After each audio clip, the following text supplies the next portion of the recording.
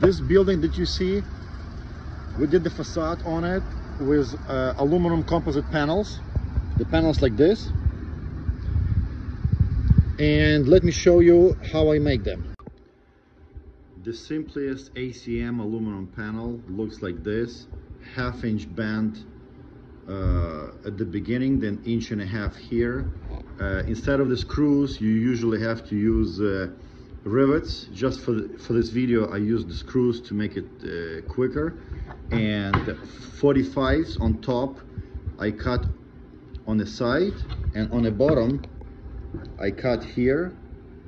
And the purpose of this, so the water from the top will be going around the panel and will not get inside and uh, let me show you how I do it I already pre-cut a bunch of them and see I have my top and I marked plus it's where I have inch and a half bend and minus where I have inch and a quarter and the purpose of this if, like when I overlap if you see the difference here when I overlap the panel then they're to be all on the same level here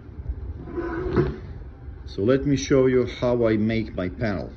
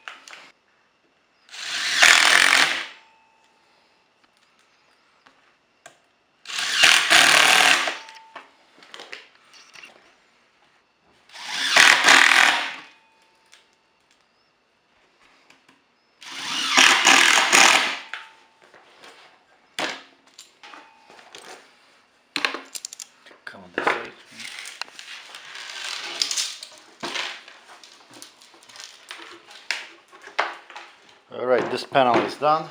To make this video as short as possible, I was rushing to those panels a little bit sloppy, but uh, I just wanted to show you my idea, how I make them. And when you install in panels, you just, like you start from uh, right and going to left, or from left to right, it, it it's up to you, and from uh, bottom to the top. So in this case, like if you have a masonry wall or wood wall, you just put a panel, or you have a strapping, so you put in the screws uh, that's going uh, pretty deep to hide the head of the screws and then the next panel is going on top of it like this. And you put in the painted screw then. And then the next one is going on top of it. So uh, the panel will look like this. And uh, uh if you have a ventilating facade you don't have to do anything else but if you have non-ventilating uh, you put in the uh, backer rod and caulking and how to do this I have another video just check it out. And uh, uh, when you cut in your first panels you it, it will be a little, a little, bit of confusing how to cut them. So I usually I, I look uh, I used to have a, a piece of paper so and uh, that's the diagram and uh, those black uh, black marks. It's where you have to uh, remove that material right? So I'm just gonna leave it for a couple of seconds so you can pause the video and uh, and try it out and see if that works for you. If it works it's great no? And uh, you have a better idea just let me know and I might use your uh, way of making the panels. Okay, well thank you very much.